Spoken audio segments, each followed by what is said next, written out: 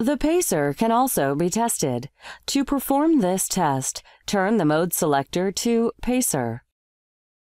Turn the rate control to 150 paces per minute. And then press the Recorder button. Pacing stimulus markers should occur approximately every centimeter on the strip chart. Next, press and hold the 4 to 1 button. Stimulus markers should occur approximately every 4 centimeters. Test the pacer output by turning the control to 0 milliamps.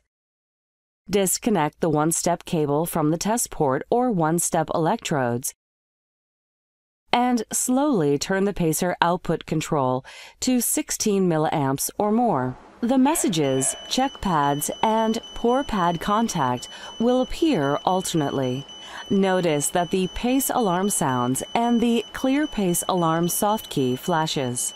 Reconnect the OneStep cable and press the clear pace alarm soft key.